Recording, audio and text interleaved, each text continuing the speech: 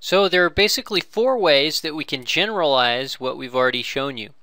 Alright, so the first way that you might think of is we've already done uh, we've already done y first we did y equals a naught right then we did y equals a naught plus a1 xi and the third thing we could do you think of is polynomial regression right? We just keep going with this. Y equals a1 or a naught plus a1 x1 or xi plus, and we can scoot over here, plus a 2x i squared. And we could keep going on and on and on. Okay so there's there's polynomial regression. So we could keep going as, as far as we want in the polynomials and we could optimize on that the other thing that we can do is linearization of nonlinear relationships and so what we can do is turn something that doesn't look at all like uh, like a linear relationship. So a linear would be this y equals a naught uh, plus a1 xi. And so we can turn nonlinear relationships into linear relationships. Now we can't do this with any relationship, but we can do it with a lot of them. And so here's a, a screenshot from the book of what some of the things that they, they show that we can do here. So for example, we can linearize, we can take uh, this y equals alpha 1 uh, e to the beta 1 x and so we could linearize that. So instead of having the axis being x and y we have the axis being x and ln of y. So we just plug it out and uh, plot it out with a with a log y scale. And so then we we just have this this transformation from y equals a1 e to the b uh, b or to the a1 e to the beta x. And that eventually essentially becomes then uh, y equals our a naught so that's our, our alpha is our intercept and our b our beta 1 is our slope we can do the same thing with a with a a power relationship we can also do the same thing with um,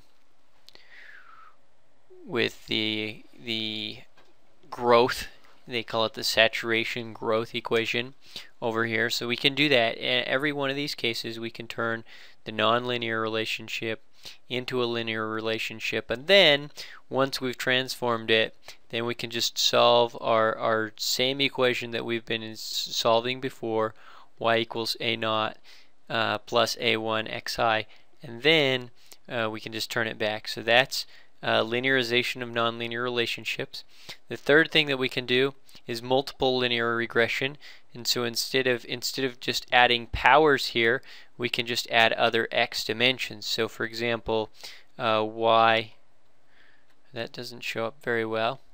For example, we might have uh, y equals a naught uh, plus a1 uh, x1 or xi, for example, uh, but but not just xi,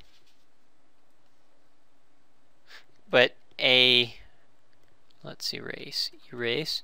Okay, and this is a, we'll call it a1x1i plus a2x2i plus a3x3i okay, and on and on. So what we can do then, and instead of going uh, and adding powers, we can add dimensions. So this is multiple linear regression. And, and then the other thing we can do is is we can write this out in a in a completely general form, and uh, so when we do that, then we have the the the, the equation ax equals b and, and, and we turn that into our A transpose AX equals A transpose B that I showed you. And then we can realize well we our, our, our basis vectors uh, go in A right? Uh, and then our our um,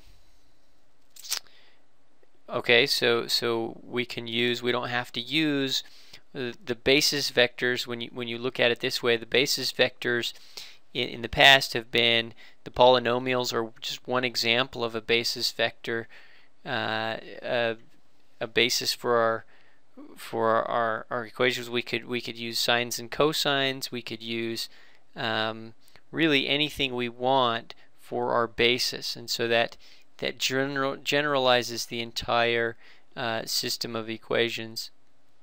Uh, so that is four different ways that we can generalize this least squares and it shows uh, it shows all the equations for at least for uh, cubic regression in the book the the multiple linear regression in the book and it also shows uh, how we linearize each of each of these relationships that I showed you.